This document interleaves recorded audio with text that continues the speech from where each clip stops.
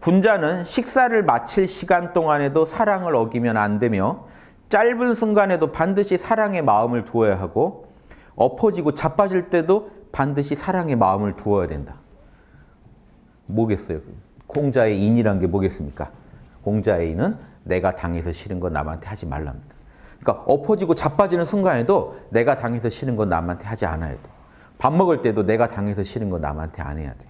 자, 이걸 가지고 기독교 사도의 삶을 볼까요? 식사할 때도 황금률을 어기면 안 됩니다. 내가 받고 싶은 대로 남한테 해줘야 됩니다. 자빠질 때도 어떻게 해야 돼요?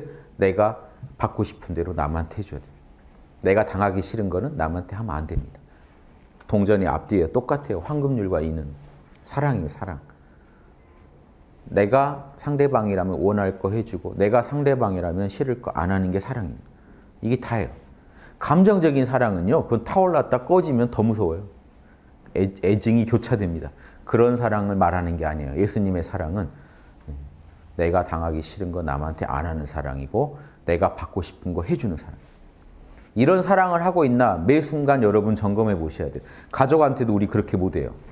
감정적으로 그 사람을 보면 내가 너무 행복해지니까 내 옆에 두고는 사랑한다라고 계속 하는 거예요.